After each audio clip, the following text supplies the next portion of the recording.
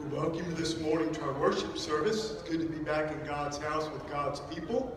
We invite you this time to join together, stand and sing with us, How Great Thou Art. You're great and perform wonders. Oh Lord my God, when I also wonder, consider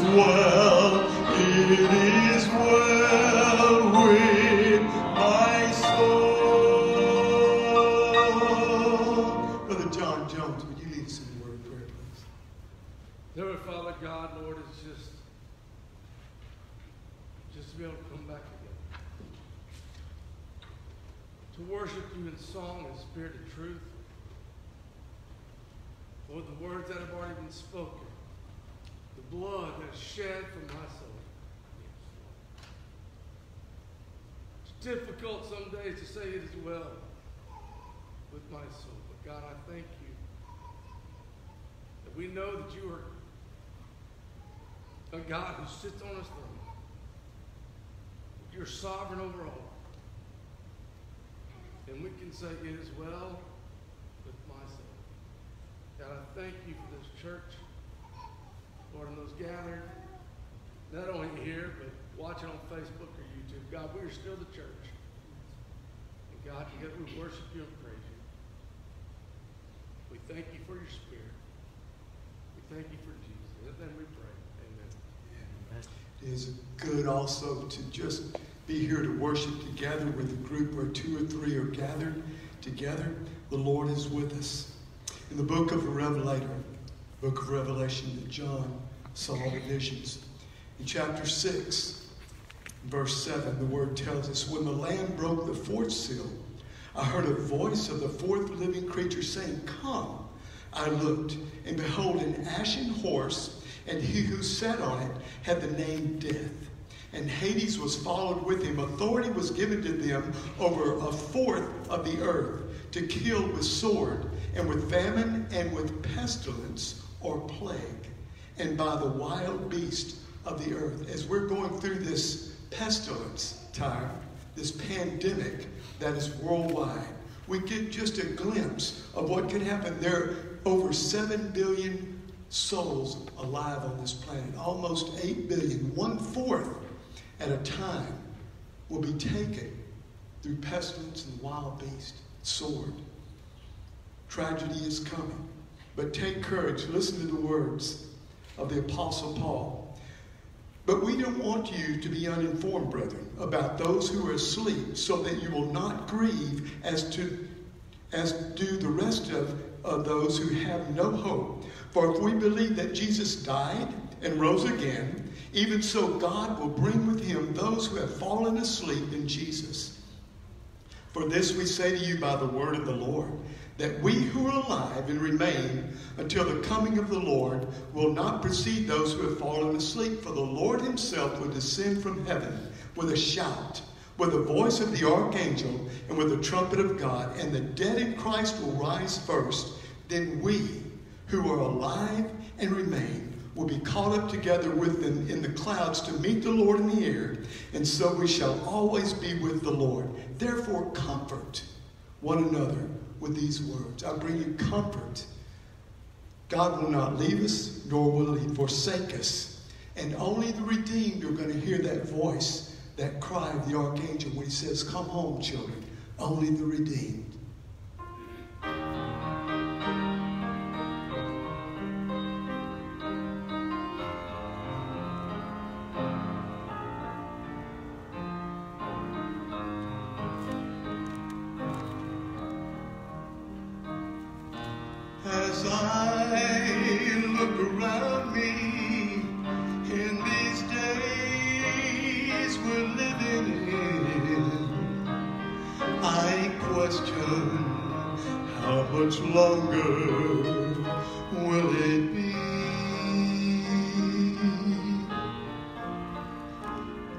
The Father reaches over to touch his son upon the shoulder and says, Jesus, go bring our family home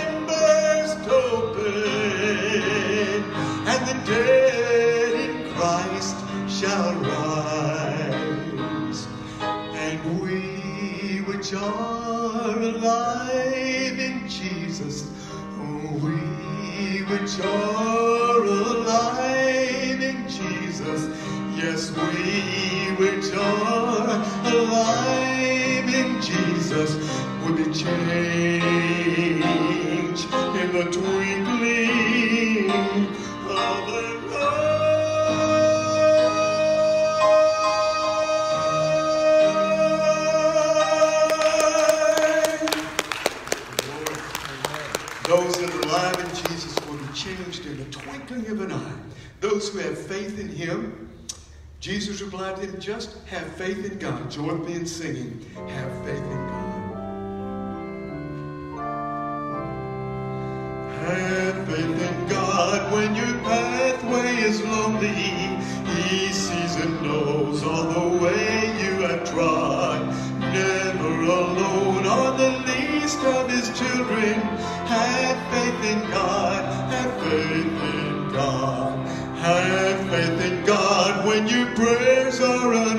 your earnest plea he will never forget.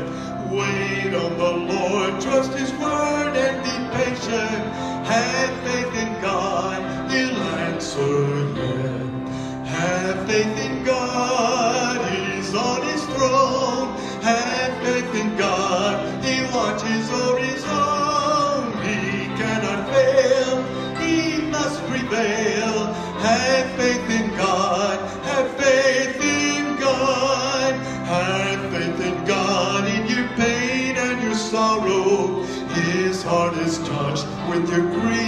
despair.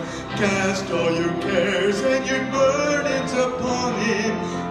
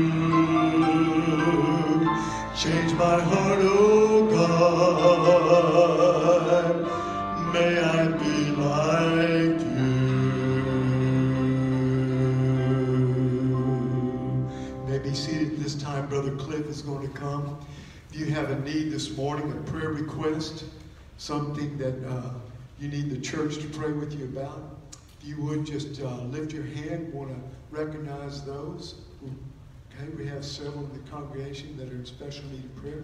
So, Brother Cliff, if you would come.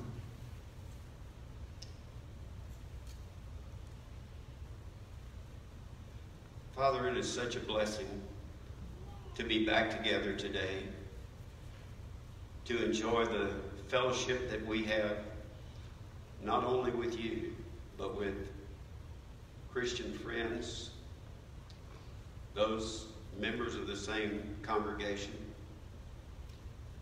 We praise you, God, that we have this opportunity to fellowship, fellowship together today and to worship you together. Lord, we lift up those of our membership who are having difficulties at this time, those who are ill, those who may have procedures planned, those who are uh, not able to get out at this time. Lord, we just lift them to you and ask you, God, that you would encourage them, that you would lift them up in their spirit, Lord, that your Holy Spirit would undergird them and they would realize and recognize your presence and your power in their lives. Father, I lift up our pastor now as he comes to open the Word and to share with us what you have blessed him with this week as he studied. Lord, help us to have ears to hear and a heart to take in the message presented. Father, we love you. We praise you for who you are. Thank you for this music we've had today and how it has lifted us and how uh, it has been a, an opportunity to lift our voices in praise to you. God, thank you for loving us. It's in Jesus' name we ask all this. Amen.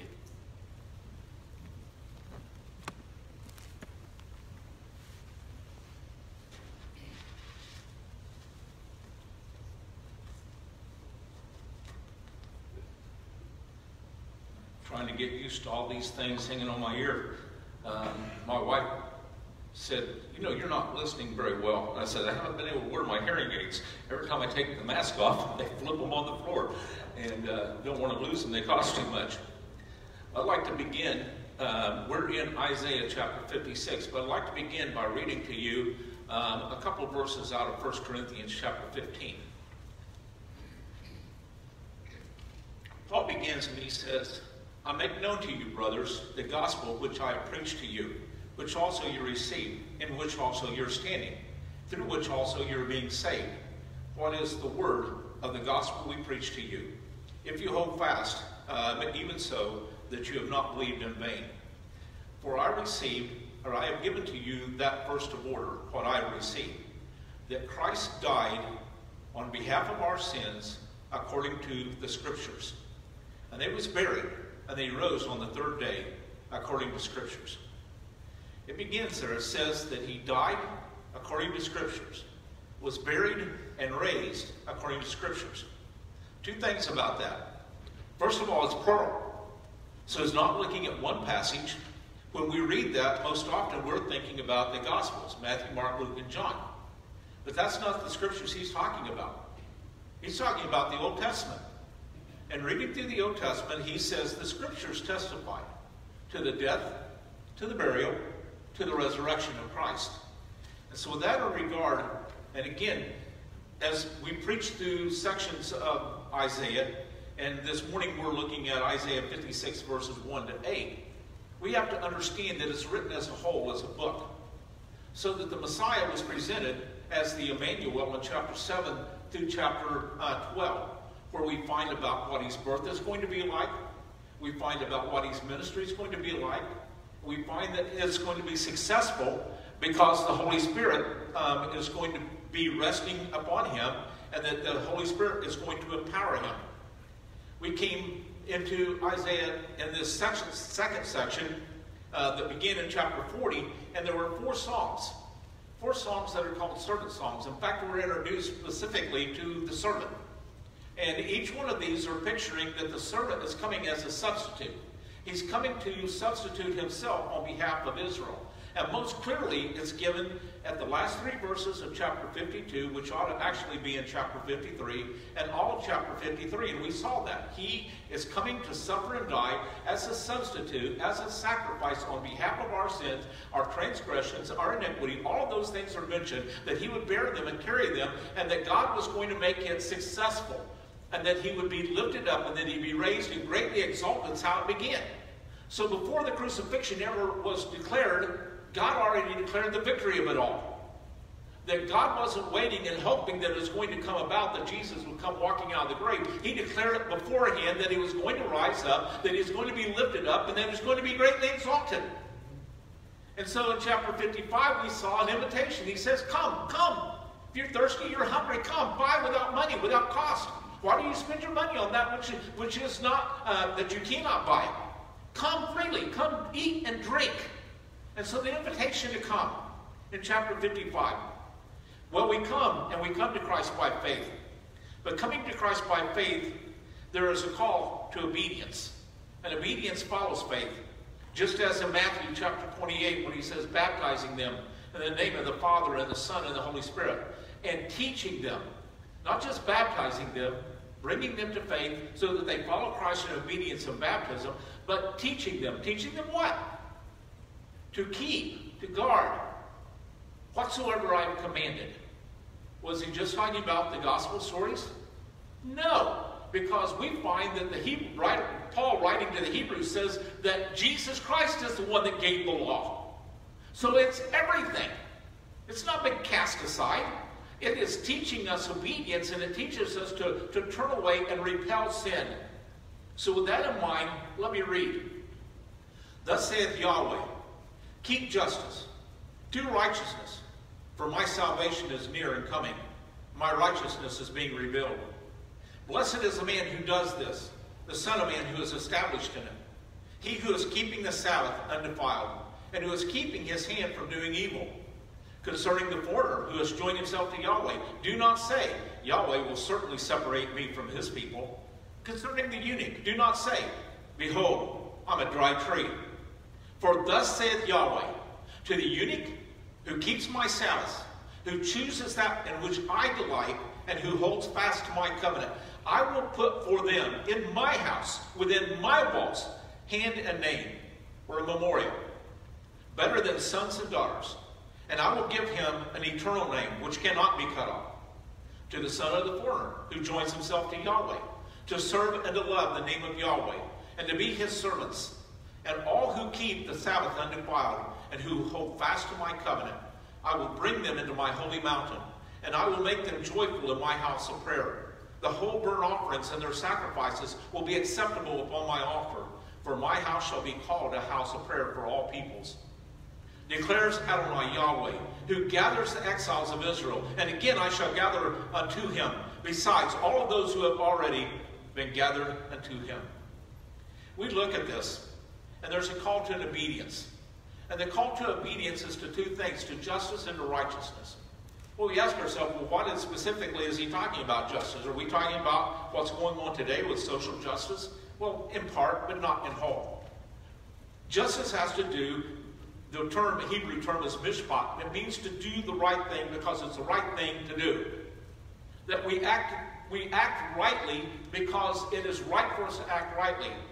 If, if I see that my, my neighbor has left his, uh, his car running, and it's happened, we've had members, older members that have now, now gone to be with the Lord. Um, I think of one, Miss Han Wu. And she pulled up to the church and she left her key in the car and the car was running, the door was open. And so what do you do? When you get there and you see her car's outside and the door's open and the key's in it, and it's running, do you go, huh, she must be just running in and running out. Well, not Miss Ann Wu. And so if we would have left it there, then what would have happened to her car? When she came out, it would have been gone because of all the traffic that was going back across our parking lot going to Walmart. And so the reality is, what do you do? You do the right thing because it's the right thing to do. You go and you turn her car off, you take the key out, you lock the door, shut the door, you bring her keys into her. She goes, oh, I didn't realize that. Let the car running. You do the right thing because it's the right thing to do. And it seems like that we have we have a board, we have an absence of those kinds of ability to make that kind of decision. If someone has left something out in their yard and they maybe have forgotten that they've left it out there and then gone into the house for the evening, do you leave it out there for somebody to take? No, you knock on the door, say, did you know you left your lawnmower out in the front? Did you know that you left your whatever it is out in the front yard? In fact, it's what Philippians chapter 2 says. He says, have this mind which is in which Christ Jesus was in Christ Jesus himself. Have this mind in you as well. But in the verses previous to that, it says, and that you don't look out for your own things, but you look out for the things of others. And for me, it always reminded me uh, that there was a sign going to Dallas up north of uh, Fairfield. And it had a picture of this old broken down fence and cows jumping out. And the sign said, Are your cows out lately? Well, that's, you know, if your cows get out, now you don't have cows in here, I'm sure. Looking around at the group that we have here today, we don't have any uh, cattlemen. But if the cows do get out, I remember an occasion Francis and I were driving from Dallas down to her mom and dad's in Madisonville. And right about where that sign was, there must have been 20 young calves that were out. They were probably about 800 pounds. And they were out running alongside of Highway 45.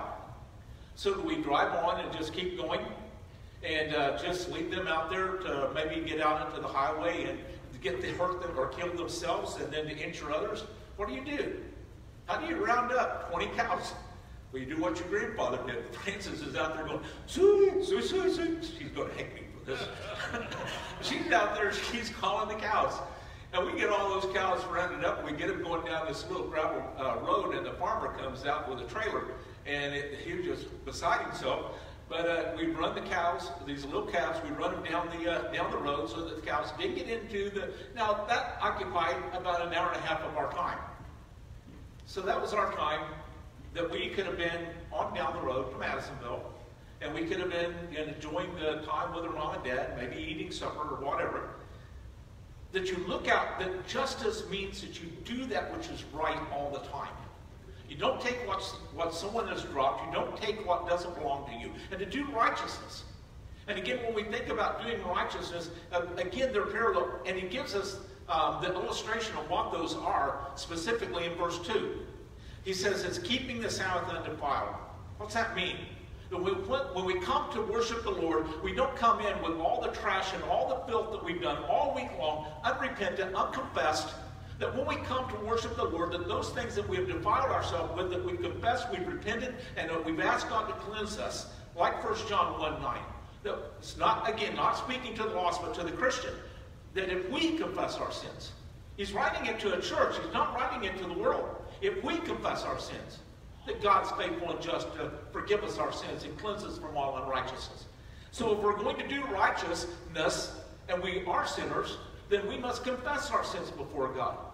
Or as Paul said in the book of Acts, that we're to repent towards God and have faith towards Christ. A repentance of the things that we do. And he gives us a reason. He gives us a call of why we need to do this. And what's the reason? He says, My salvation is near to coming. My righteousness to being unveiled. And again, the picture is, is taking the coat off and bearing his arm. That God's righteousness is coming. It's about to be revealed. His salvation's coming. Well, what's he talking about? Well, he's talking about what he said in chapter 53 or 52, um, verses 13 down through 53, um, and verse 12, the end of it. His salvation, his righteousness is coming. It's getting ready to be unveiled. Is the coming of Jesus Christ. For them at the time, he says, Christ is coming. My salvation is coming. My righteousness. If you want to know what righteousness is, then look at Christ. At the, during the Sermon on the Mount, he appealed to those that were sitting on the side of the mountain and he said, Except your righteousness exceeds that of the scribes and the Pharisees, you will in no wise enter the kingdom of heaven. You're not going to come unless it exceeds theirs. And they seem to think of themselves that they were at the top of, the, of their game, that they were better than everyone else. And he says, If your righteousness isn't better than that, you're not coming into the kingdom of heaven. Well, I can look around and I don't know everything that you do. I don't know all of your secrets. I don't know all your hidden things God does. But I know this, that my righteousness does not exceed that of anybody else's. I am no more righteous than the next man, or the next woman, or the next child. So how is my righteousness going to exceed the righteousness of the scribes and the Pharisees? And there's only one righteousness that God will accept, and that's the righteousness of Christ that Jesus Christ came to live righteously before God his Father on our behalf. Paul wrote to the Romans in chapter 5, he said, We're not only saved by his death, but we're saved by his life. The life that he lived imputes, gives to our, to our accounting, it adds to our credit his life and his work and his righteousness. So that when God looks at me, I think we sing a, a song like that. Uh, when he looks at me, he sees his righteousness. He sees the blood he shed. I'm glad that when he looks at me, that that's who he sees, not me, but him. That he sees Christ because we're clothed, we're dressed in Christ. My salvation's near, my righteousness coming, and my righteousness is near to being revealed. Question. Harold just sang it in, in a song a moment ago about the return of Christ. Are we living in such a way that we will not be the naughty children when Christ does come? I know I've used the illustration before, but I did the 12-year-old boys G, uh, RA basketball when I first was saved over in spring. And I'd taken them at the end of the season over to Astro World, so you can tell how long ago that was. And I'd taken them to the Astro World, and I gave the boys all instructions that we were going to be at the gate at 10 o'clock ready to load on the church bus. Some of the boys didn't get that message, two particularly. And they had figured out that people lose change in the uh, roller coasters and the things that swing them. And so they were climbing on top of buildings. They were going underneath in, in places that were probably pretty dangerous, gathering up change. They both come out with pockets full of change. And, uh, but they didn't come out until 11 o'clock. But the security brought them out because they were still looking for change. They were making a killing. And so the bus had already left. Their salvation was nearing to coming and righteousness being revealed. But they didn't make the bus. And the bus had gone, and here we are sitting in. I'm responsible for these boys, so I'm sitting there on the bench waiting for their moms and dads to drive from Spring up north of Houston all the way down to Astro World and then flipping coins to see who had to take me. Because they both wanted to address their boys uh, for their behavior, and they didn't want to wait until they got home. God's salvation is near into being into coming and his righteousness to being revealed. It was revealed in Christ, but there's a day coming. There's a day of accounting that's coming, and we don't want to be found waiting outside. We want to be doing that which the Lord has called us to do. And so he gives us a proverbial statement of wisdom. What is it that God delights in? What is it that pleases God? And he says he delights in the Sabbath. Blessed is the man who does this. And the man and the son of man who's established in this. It means that this is his foundation. This is the one that does this, and this is the one that's founded upon it. What is it? He keeps my Sabbath and defiled. You know, I, I was preaching through Ezekiel a few years back, and I come to chapter 22, and there's a paragraph in there that's 23 to 31, and it talks about how everything had become undefiled. And right in the middle of it, he talks about that they have disgraced, they have disgraced my Sabbath so that I am profaned among them. And he, who's he talking about? He's talking about the priest in verse 25 that conspired um, in their midst, and they, they were tearing them. In verse 26, the priests have also defiled, uh, done violence, and they profane my holy things. And they have made no distinction between what's holy and common, and neither have they taught them the distinction between unclean and clean. They've disregarded my Sabbaths so that I am profaned among them. From the, from the priests and prophets, they go to the princes. And they're tearing and dishonest gain, and the prophets are smearing whitewash over them. They're saying, oh, they're, what they're doing, it's okay. They're giving false visions. They're saying that God says it's all right for them to do what they're doing. They oppress the poor and the needy, and they've extorted from them the sojourner without justice. And I've sought from among them a man who is who among them who should build up the wall and stand in the breach before me for the land, that I should not destroy it. But I found none. God holds the Sabbath in high honor. Well, Sabbath was yesterday. And we as Gentiles worship on the Lord's Day, the day that Christ rose from the grave. And Paul told the, uh, told the Romans, he says, that to each man he sets that day apart. So that for one man it's one day, for another it's another. So there are those that choose to worship on, on Saturday, and not so much here in the States, but when you leave the country, you find a lot do. That we take the day that we sit aside to worship the Lord and we treat it as holy. What's one of the fears I have of this pandemic that we've had? People have gotten out of the habit of coming together and setting a time aside a time to worship the Lord. It's been at my convenience and at my opportunity. Now, churches were already doing that, offering them, you know, all kinds of alternatives. You don't want to get up on Sunday morning, fine. Go on Friday night. That way you can do, you know, you can go to the lake, you can go to the beach, you can do whatever on Sunday. Or let's do it Saturday night. Or let's do it, you know, they would give alternative times because it wasn't really about setting aside a time specified that you find whether in the Old Testament or you find in the New Testament set aside for a time of worship to come together as God's people to worship.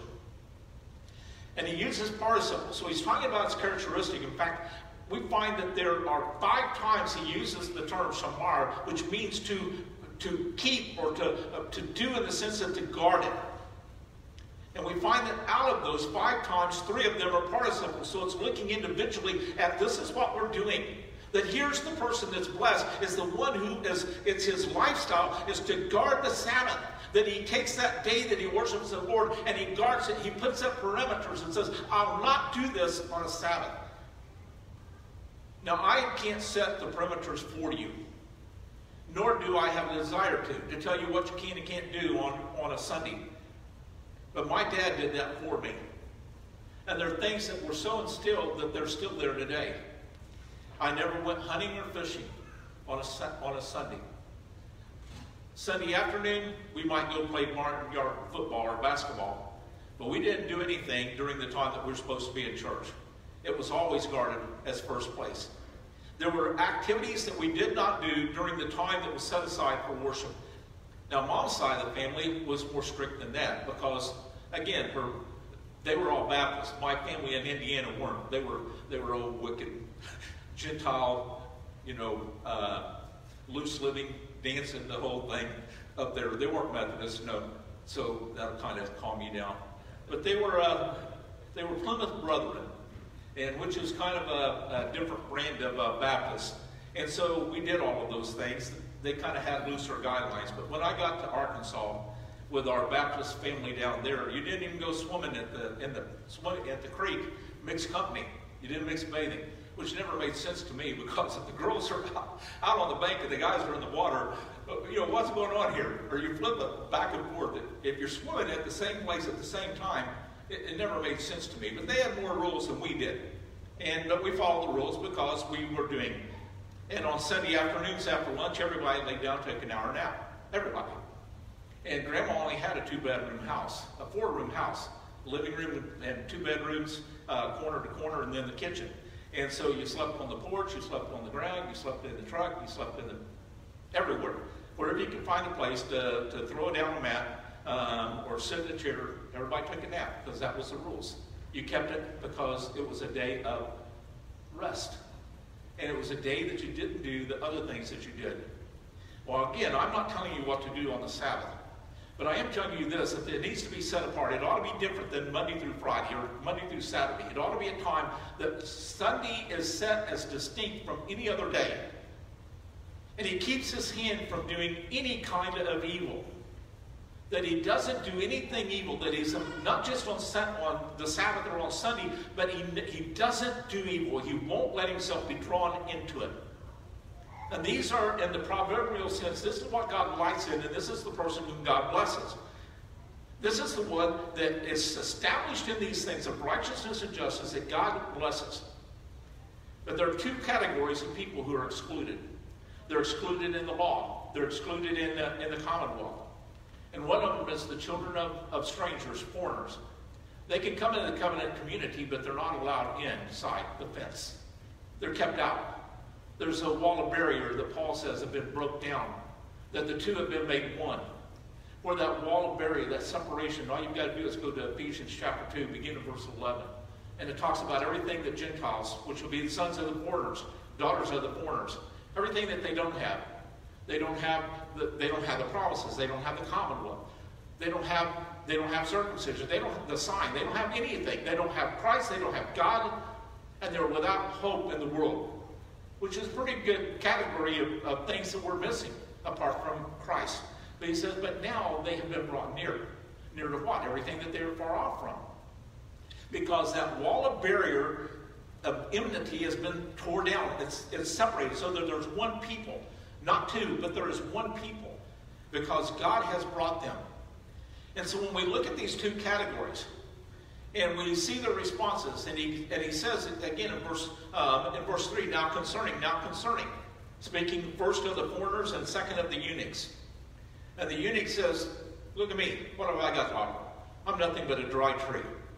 The, the foreigner, he says, even though I've joined myself to Yahweh, even though I have committed myself to worship the Lord, ultimately I'm going to be excluded from both the Lord and from his people. I'm never going to really be a part. I'm always going to be separated. Now think about this. I look around this room, and that's every one of you. Every single one of you. The sons of the foreign. Excluded. You're not Jews. You weren't born Jews. You didn't have Jewish heritage. You don't have Jewish roots. You're a Gentile. So when he says this, you make it personal. Put your name there. He says, I'm excluded. Oh, I've joined myself to the Lord, but under the law, I'm excluded. What is there for me? I won't be part of the people of God. I won't be included, and there's some that would keep you there. There are some that would keep you excluded from the promises of God. But Paul says to the Galatians that we, we who are by faith of Abraham are the children of Abraham. Because the seed of the promises was Jesus Christ. Not to the nation, but to one, to one seed, to Jesus Christ. And if we're in Christ, then the promises are ours as well. We're not looking for a separate, a separate kind of promises that are going to come. We're one with them. We've been brought into them. And there isn't the separation. And so it, what, what would have excluded us, he says, it hasn't. Why? Because God makes a declaration. God's the one that speaks. And he says first to the eunuch, to the eunuch who has kept my Sabbath. There it comes again. We find three times he addresses it in relationship to the Sabbath. And he says, so, and both the eunuch and to the, uh, um, and to the foreigner, and then to all who are blessed. The Sabbath seems to be important to God, doesn't it? So to the eunuch who keeps my Sabbath, who chooses that which I delight in, and holds fast to my covenants. Now, the only time, the first time that he uses covenants in here, but he'll repeat it again to the son of the foreigner. What covenants is he talking about? Well, just flip your page back to chapter 54. And in chapter 54, verse 10, and he says, My covenant, or my covenant faithfulness which is with you will not depart, and my covenant of peace will not be removed, says uh, Yahweh, who has compassion upon you. My covenant of peace. Well, where in the world is this covenant of peace established? We go back to the servant song. We go back to Isaiah 52, verses 13 all the way through 53. Because Christ has established it, because Christ has redeemed us, because Christ has bought us, we have peace with God through the blood of Jesus Christ. So there's a covenant of peace and God's covenant of faithfulness. It will not depart, it will not be removed from us. He comes down to verse 3 of chapter 55. And he says, So incline your ear and come unto me, and hear that your soul may live. And I will establish with you an everlasting covenant. The covenant faithfulness of David has been confirmed. An everlasting covenant. And again, the promises God made to David of a son sitting upon his throne forever, to always have a son sitting upon the throne. And so again, it points back to Jesus Christ, an everlasting covenant. So when we come to the Lord's table, what are we coming to? We're coming to the covenant of promises, the covenant of peace, this everlasting covenant that was established in the person of Jesus Christ. And he says that they keep my covenant. that they hold fast to it. What's their hope in? My hope is built on nothing less than Jesus' blood and righteousness. I dare not trust the sweetest frame, but wholly lean on Jesus' name. On Christ's solid rock I stand. All other ground sinking sand, all other ground sinking sand. This is my hope. This is my trust. This is where I stand. And they're holding fast to this covenant, and they and they choose to do that which delights and pleases God. What's God going to give to the eunuch? And I think of four particularly in my mind. Actually, I could add a fifth one. I think of a young boy named Daniel that was taken from his father's house and made a eunuch in the house of the king of Babylon. I think about his three friends, Shadrach, Meshach, and Abednego, who were made eunuchs so that their desire was only to do their job, no other interest. Their lives seemed to be ruined, and yet God blessed them in the midst of their faithfulness. And he said they'll not be cut off and they'll not be forgotten. They'll not be left out because they have been cut and because they are now eunuchs. I think about an Ethiopian that made his way to Jerusalem to worship the Lord. And he left with a scroll of Isaiah. And he's reading from Isaiah 53. And Philip runs up beside him and says, You know what you're reading? He goes, No, how can I know unless someone explains to me? He climbs up in the chariot and explains Christ to him from Isaiah chapter 53, what we've just spoken of. And the man believes upon the Lord and he says, What prevents me from being baptized? There's water. There was nothing to prevent him. Why? Because what does God require? One thing. Faith upon the Lord Jesus Christ as we repent from our sins and draw near unto him. So God says to him, I will give to them in my house, in my walls, in my house, right where I am. I'm going to put in my house, inside my walls, I'm going to give inside of there, and the term, the Hebrew says a hand and a name. The hand and the name. Better than sons and daughters. And speaking about a monument, something that's in there. I'd like to read to you a couple passages really shortly but a couple passages from the book of Revelation and to the letters to the seven churches. And the first of them um, is to the church of Pergamum. And the church of Pergamum, when we come to the end of it, where he says, And to him who has an ear, let him hear what the Spirit says to the churches. To the, over, to the one who overcomes, I will give to him the hidden manna, and I will give to him a, a white stone, and upon that a new name which has already been written, which no one knows except the one who is receiving it. I'm going to give him a white stone with a name written upon it. I'm going to give him something in the presence of God. Flip over just a page or two to the Church of Philadelphia.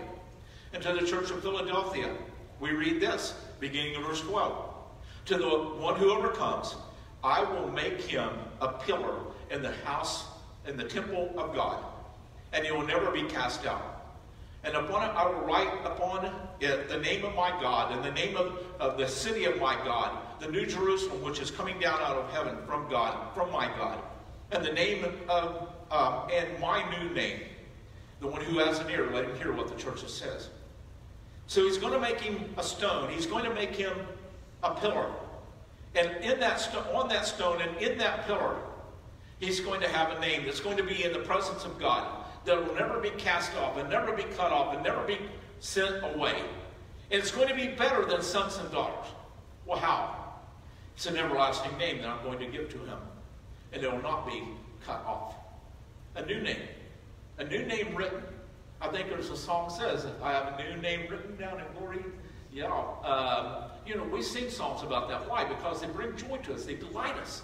To know that we have been given a name, an eternal name a name written upon the thigh of Christ that's written in the hand of God that will never be wiped out, that we will always be in the God's presence, and always welcome into the God's presence. And here are eunuchs who, would, who could not serve as priests, who could not come to the temple, who could not offer sacrifices, who couldn't do anything. And yet God says that they are coming in the house and they're coming inside the wall and they're not going to have to leave. They will be there hand and name. They will be there in my presence forever. We who think to ourselves that there's just nothing that I can do, that I'm so bad, that, that there's everything that I've done my past, and there may not be speaking to you here today, but I promise you there are people that feel so low, so low, They don't have to open the door, they can walk underneath it. Because they feel so bad about themselves and so low and so rejected. And I'm telling you that God can take and make a change. That what we think is discarded, what we think is useless, what we think is, is cast out isn't.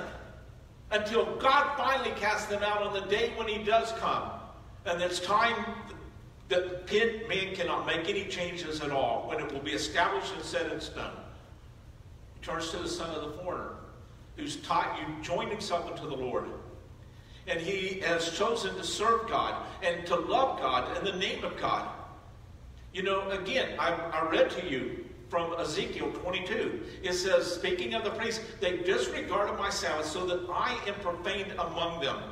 We saw earlier in one of the messages um, in Isaiah, it says that my name is known because it's profaned among the nations. My people know in exile, they know my name. Why? Because my name's blasphemed everywhere. People are using my name, so they know my name. Yet here we find the sons of the foreigners joining themselves unto Yahweh, serving Him, and loving His holy name.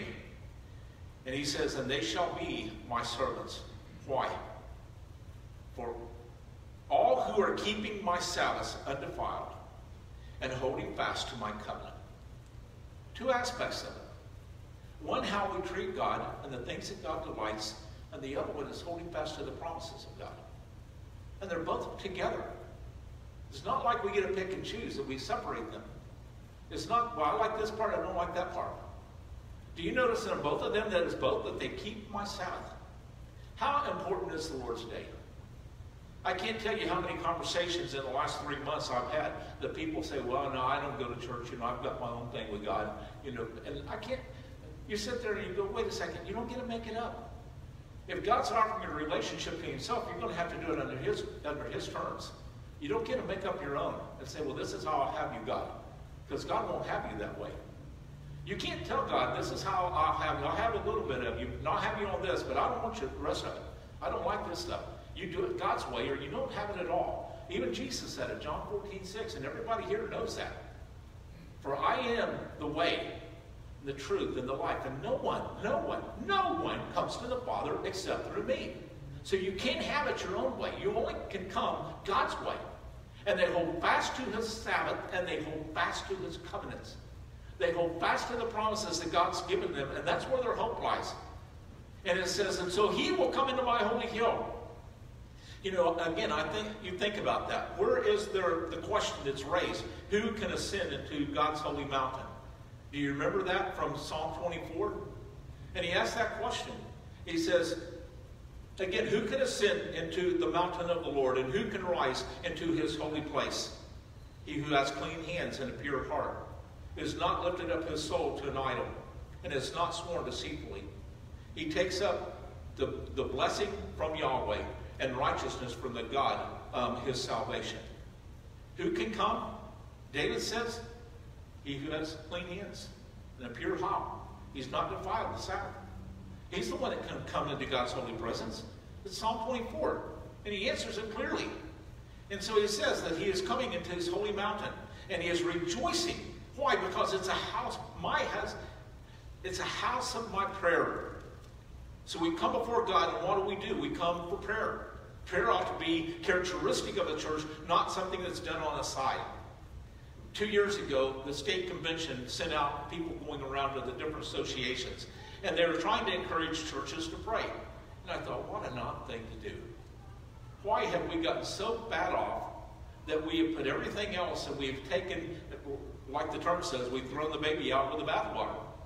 You know, how have we gotten so bad off that we'd have to have someone come tell us that we need to incorporate prayer during the worship service? You know, I, I think about how we begin. We begin with prayer. In the course of it, we have prayer. At the, at the time of deacons, we have prayer. We have prayer when we close out together.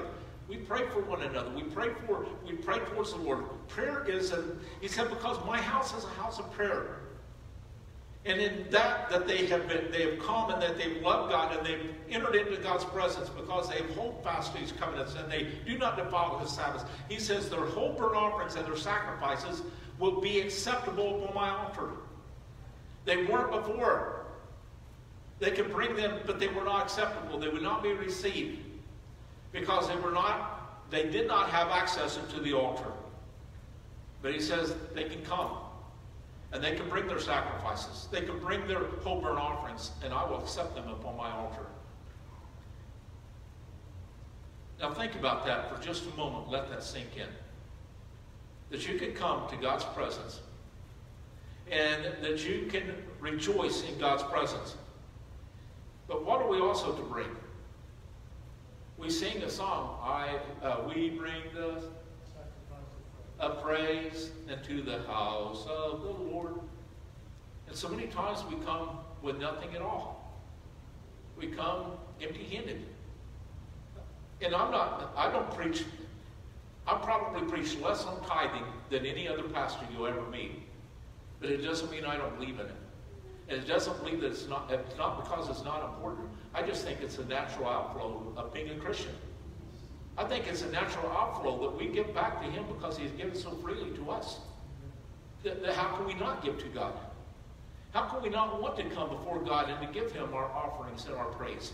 To give them together collectively as a whole. And He says, and again, if you recall in Matthew, when Jesus entered into the temple to cleanse the temple, and when He's cleansing and driving out the money changers, what did He say to them? And he said to them, It has been written, My house shall be called a house of prayer. What we find here. And he says the same thing, that gives the reason why they would be acceptable, because my house is a house, shall be called a house of prayer. For who?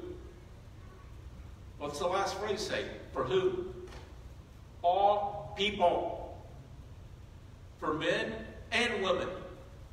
For children. For eunuchs for foreigners, for all people.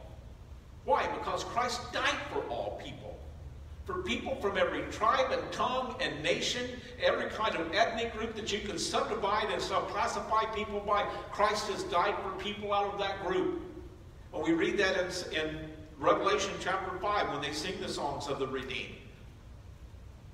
And so he tells us, declare, normally verse 8, it's written out of order because normally after he makes a statement, he'd say, declares the Lord Yahweh.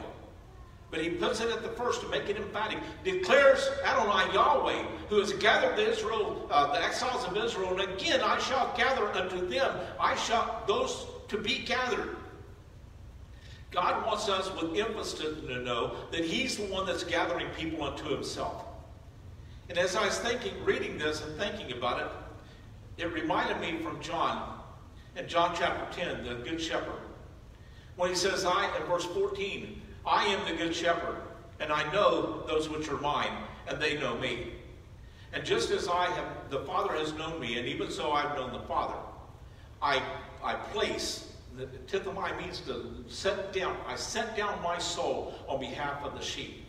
But other sheep I have, which are not of this fold. And even these we must bring and they hear my voice, and they shall be one fold, one flock. Others that I have. And that's how he ends this. He says, I've gathered, and I've gathered some, but I haven't gathered all. I'm still gathering. I will gather again, and I will gather still, besides those who have already been gathered. So until the day that the Lord comes, God is gathering sheep. He's calling people unto himself to trust and believe upon the Lord Jesus Christ. And so when we consider that, that God is still calling, we saw that last week in chapter 55, that God's still calling, we find the emphasis where he says, come, come, come. Again, five times, come, come, come, come. God wants us to come unto him.